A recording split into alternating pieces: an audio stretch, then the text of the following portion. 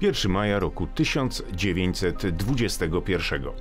Tego właśnie dnia Senat Wolnego Miasta Gdańska przejął obowiązki i kompetencje magistratu gdańskiego, stając się równocześnie organem administracji samorządowej. I tutaj warto się e, chwilę zatrzymać nad pytaniem, czym było Wolne Miasto Gdańsk. Taki dziwny twór polityczny powstały w wyniku przegranej przez państwa centralne, przegranej przez Niemcy I wojny światowej. Już pod koniec trwającej jeszcze I wojny światowej było rzeczą oczywistą, że granice w Europie będą wyglądały inaczej niż przed jej wybuchem. Do głosu dochodziła doktryna samostanowienia narodów. Jakby to miało w praktyce wyglądać, nikt dokładnie nie wiedział. Te wszystkie kwestie miały być ostatecznie ustalane dopiero w trakcie konferencji międzynarodowych, zawieranych traktatów, plebiscytów.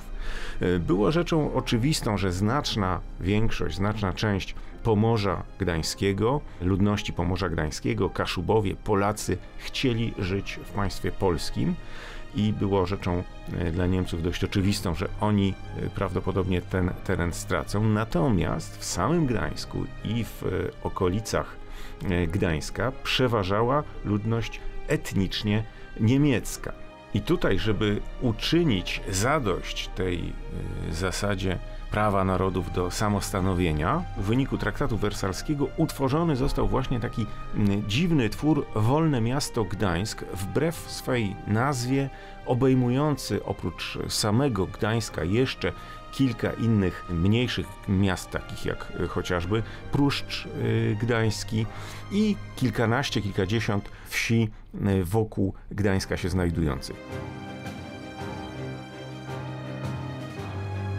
Twór ten był zamieszkały w większości przez ludność niemiecką, chociaż ludność polskojęzyczna, Polacy, Kaszubi również tam występowali, także w samym Gdańsku. Wolne miasto Gdańsk miało znajdować się pod kontrolą Ligi Narodów, to Liga Narodów miała sprawować pieczę nad tym obszarem, natomiast polityka zagraniczna miała być prowadzona y, za pośrednictwem państwa polskiego.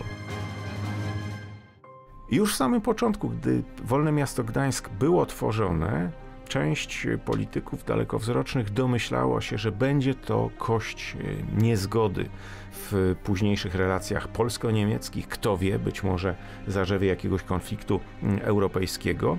Fryderyk Wilhelm Wielki e, zwykł był mawiać, jemu w każdym razie przypisywane jest takie powiedzenie, że kto kontroluje ujście Wisły, ma władzę większą niż ten, kto sprawuje władzę w Warszawie.